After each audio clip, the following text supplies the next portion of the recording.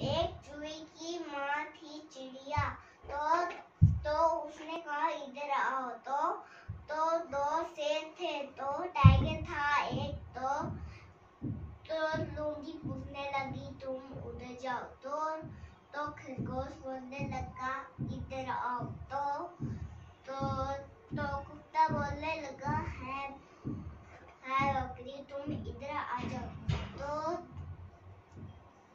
cat ने बोला है, तुम लड़कियों के पास आ जाओ तो तो